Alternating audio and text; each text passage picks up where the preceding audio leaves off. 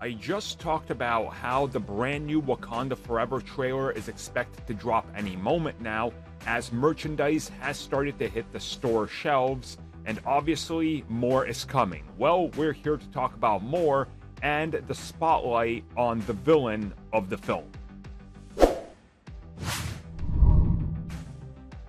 So here we are talking about brand new Empire magazine covers, which of course always accompany the store shelf one and the one sent out to subscribers. If you guys want the full high quality look at this, I will have it linked down below because um, they're a little bit smaller in size and pixels, so they would be low quality on YouTube. But I will just briefly talk about what we're seeing here and why this is important. So, obviously, First, let's talk about the subscriber cover.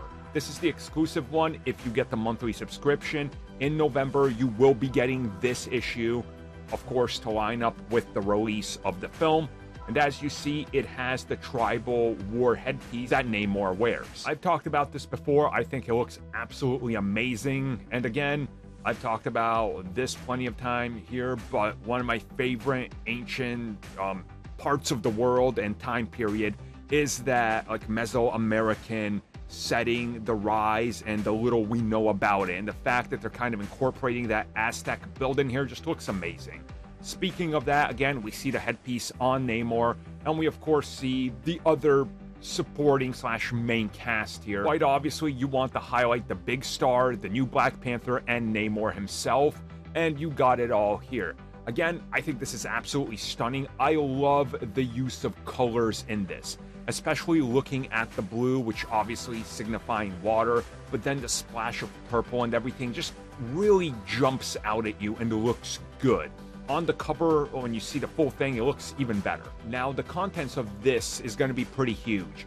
Empire Magazine typically reveals a lot in interviews, and they are promising interviews with Marvel Studios' Kevin Feige, the director Ryan Coogler, a retrospective, how they came up with the ideas for this film, interviews with the main stars of the film, including Namor, and more reveals that have yet to, uh, well, be revealed. So there's going to be a lot going on here. And since this is the November issue, it's going to be, well, coming out soon coming out about mid October. And that's why the highlight here is so important because it's going to hit right before the film hits. So, a lot of excitement. I cannot wait to get my hands on this. Um, you guys know I'm a giant Namor fanatic, just like our friend Ricardo over at Imperius Comics News, which, if you guys stay tuned, me and him will be talking about Namor soon, and you guys will be seeing more of him here. So, we're excited about all things Black Panther and Namor. Can't wait to talk about it more. Love these covers. Got to get my hands on them.